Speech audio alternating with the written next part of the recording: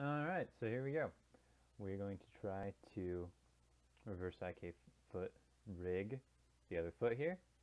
Um, let's see if I'll be able to do it in one shot this time. Anyway, I'll just show you how this one kind of works out a little bit. So you grab the main control to move the foot in general. And when you move the foot below the plane, it just kind of it stays attached to the ankle, which is always a plus. And then you can rotate them from any of these points, right, to make it easier to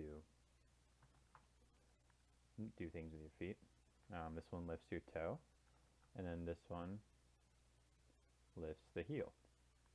And so it's really, it's pretty nifty little rig we got here. Alright, so let's do the same thing over here. See if we can get this to work.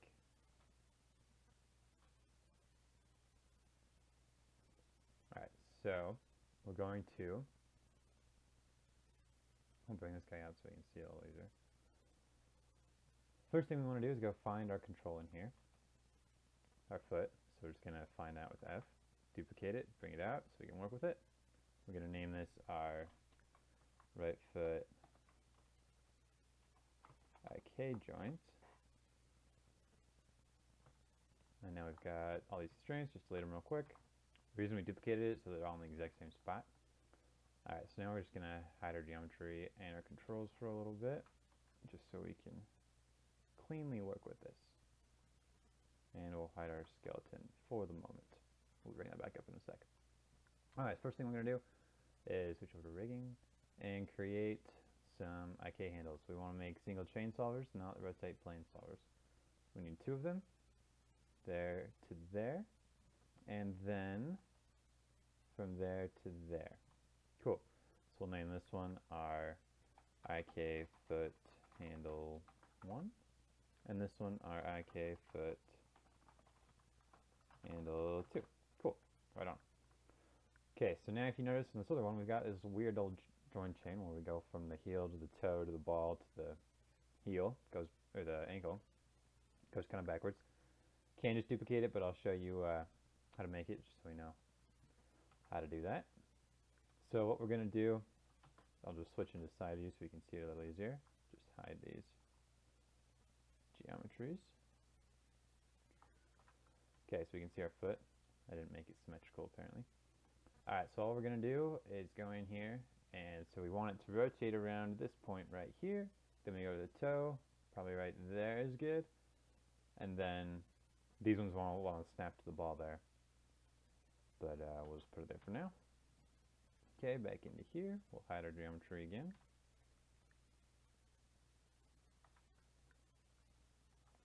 Alright, so now we'll just move this guy over a little bit so he's like right in line. If we can manage to get it exactly in line, that's great. Okay, so we're also going to open this up and make them smaller because they're kind of taking up a lot of real estate right now. Cool. Um, so we want to snap this guy. Hit D so it just moves that one and not the other ones. And then we want to snap this guy also. Okay, cool. I think that one's snapped. Great, so we got these ones. What we're going to do also is duplicate this guy and delete the inside one. Okay, so this one's our heel. Um, just right heel, right toe joint. Sorry, I gotta put joint there stuff. This one is our right ball joint. This one is our right ankle joint. And this one will be our toe lifter. Right toe lifter joint. Cool, great. So now all we're going to do is stick this handle under our toe lifter and this one under our ball joint. So what that does, doesn't look like it does anything to this one, but it is rotating that IK joint. And then this one, a toe lifter, is a little more obvious. It lifts the, you know, lifts the toe joint. That's what it's for. Alright, awesome. So now that's working right. We're going to go in, we're going to make our other skeleton appear now. We're going to start to connect it to this other skeleton. So we're going to go in and find the IK handle for the leg here, right? So I just know I put it under the controls from last time. So we got right leg base. And we've got this IK handle. So just bring this guy down, put it under the ankle down here, and just delete these constraints because we don't need them anymore. Cool, so now we've got this ball joint, and it follows. Oops. Deleted the pole vector on accident. We just need to delete the point constraint. Okay, so just grab the ball now, and it very nicely, just like we want. So this one here, that's just because it's still constrained to the other thing. The other, the main foot geometry is still constrained, or the joints are still constrained to the controls, which is fine. We're going to fix that in a sec. Alright, so we got that all going. We just need to point constrain, or parent constrain. We got to go find this joint here. So we're going to find this one. Yeah, this one. And then we're just going to go over here to this guy and do a quick parent constraint. So now that follows. So now if we rotate our ball, that you can see that this joint here follows the ankle, which is exactly what we want to happen. Alright, awesome. So we got that all set up. It's working out really nicely. Now let's just set up our uh, controls now. So making controls is really easy. You just do create um, circles here, and then you group them. Um, and then you move the group to where you want it to be, just like that. But we're just going to duplicate it just for sake of time. Just delete, duplicate that. Um, we'll find in hierarchy, um, left with right. Awesome.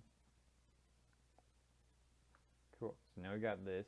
You can see it's set up in the same way. We've got our foot, our main foot control. Let me just move this whole thing over here so we can mess it a little easier. So we got our foot control, which is a big one around. Then we've got our heel control, which is this one over here. Our toe, which is here. Our toe lifter. The group is in the center, or it will be in the center of this joint with the, simply just manipulated the control with control vertex over to here so that um, it's easier to grab basically. As long as the center of origin for this guy, for these controls, is in the same center as the group, then you're fine to go. You can put it wherever you want. And so then the ball rotation is the same thing there. So it's the same hierarchy, which is exactly how it how it needs to be. Okay, so we're just going to center this one as best we can. It's the foot joint, so or the like the main foot control, so this one's not as important that it's exactly where it needs to be. Okay, so heel, we want this one to snap to the actual heel rotation joint. And then same thing with the toe, and same thing with both of these ones. So that one's there, and this one is there. Wonderful. Now let's constrain these real quick. So this one's constraining this one. We need a parent scale. And then we need this one to be here, parent scale, this one to the um, toe lifter joint, parent scale, and then this one to the ball joint, parent scale. Alright, so we can test this out. We'll just rotate these guys real quick, just make sure that, yep, that looks like it's working. Disregard this chain, still we're, uh, we're getting to that. This one, yep, looks like it's working. And this one looks like it's working just fine. We'll just check this one real quick too. I'm pretty sure it's working. Yep, great. Cool. So now we got everything set up like that. Now we should set up the set-driven keys so that you can switch between this one and the FK one. Let me open up our, pull back out our geometry and our controls so you can see. So right now the FK one, it just, it's rotating like this, right? It's not totally working anymore because we kind of, actually it is working 100% how we want it to work right now. But we want to set it up so that we can switch between this version and the IK version. Alright? So, what we're going to do is open up our set-driven keys over here. We have this already set up from last time.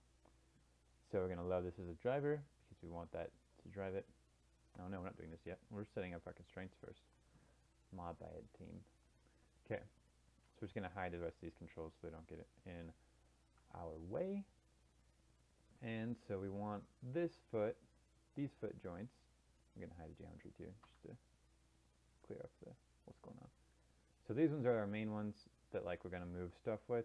You can you can't really see them because they're they're in the exact same spot as the other ones. So what we're to do is open up our skeleton, go into our right foot joints. So you notice there's three joints here, and we've got three joints here like that. So what we're going to do is just parent scale these real quick. Constrain parent. Did it go? I think it went. Okay. Parent scale. Okay, same thing with this one. Parent. Gosh, I am not thinking those are working, but I'm pretty sure they are. Oh, not that one. And that one. Okay. Now parent scale. Cool. So now when we actually move these guys, it should start to, yeah, See how that's working? It's like halfway in between the the FK one and the IK one. So that's exactly how we want it to be. Great. So now we got to make our other controls appear again because we got to mess with that set driven key now. Okay, so click on this one and do set driven key, load the driver. Great. Now we got to go find our uh, the actual foot joints, wherever those went. It's the same ones. So open up all these, grab these constraints, and do these as a driven. So first thing, check here. case, we got IK, FK. So we want the IK on and the FK off. So if we go here,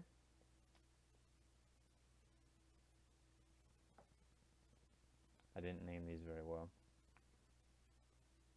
So the bottom one's going to be the IK and the top one's the FK. So we want to turn that off.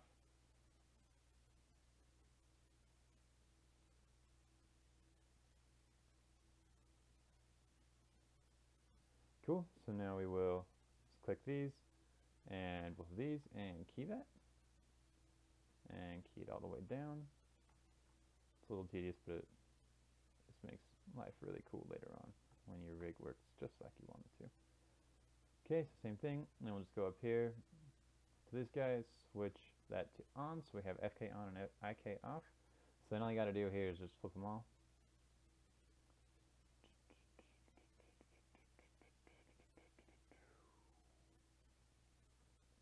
Is tedious. If you have a code for it, that would make it much easier, but it's not that bad. I mean, we're going to do this whole video in like, what, 20 minutes maybe? Hopefully. Alright, so now we do that, and that, and that, and that, and that, and that. Wonderful. So now this should be working. Let's uh, turn on geometry and just uh, see how that goes. See if it works.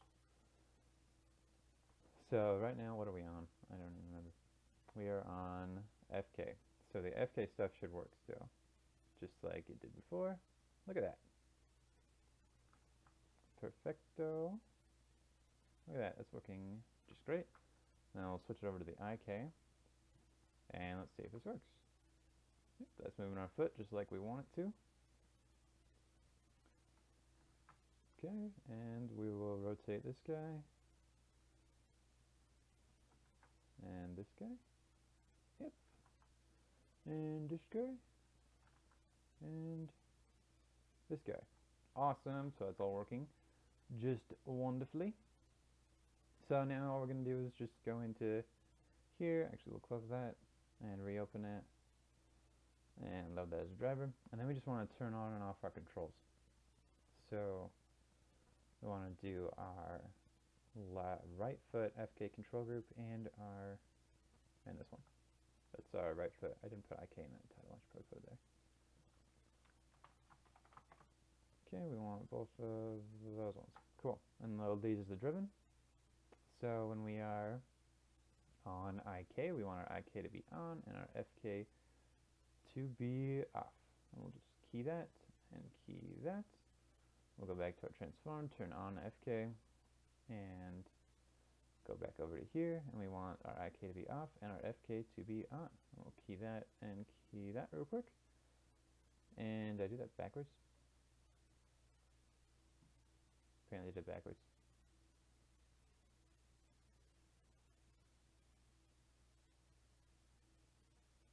No, I didn't. do that right.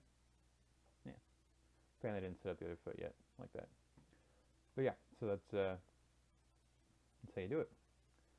And so now we have this with just our FK controls. This one, I don't think you need it anymore, but I'm just going to hide it if you happen to do need it later. Um, so yeah, we have FK here, and it works just like we want it to. We'll hide the skeleton too, just because we don't need to see it. And turn this off so we can select these easier. So yeah, that works just like we want it. And then we can switch back to our FK, and everything works just dandy.